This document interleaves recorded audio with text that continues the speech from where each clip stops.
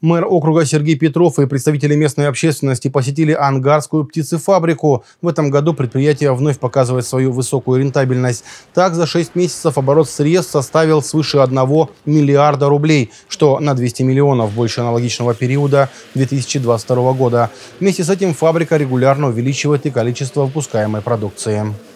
Акцент сделан на высокий передел продукции, то есть производство полуфабрикатов, то есть конечного продукта уже потребления, это уже, а, безусловно, говорит о нацеленности предприятия на улучшение финансовых показателей. В целом идет объем и роста выручки и, безусловно, мы понимаем, что это ведет к повышению рентабельности, что позволяет предприятию развиваться, приобретать новое оборудование. Сегодня мы планируем построить еще два, птичек, два птичника. Вот это на самом деле в большей степени не для того, чтобы увеличить объем, а для того, чтобы э, ветеринарное состояние птицефабрики оставалось на должном высоком уровне. Как отметили участники встречи, агропромышленный комплекс при Ангаре – это важная составляющая экономики региона –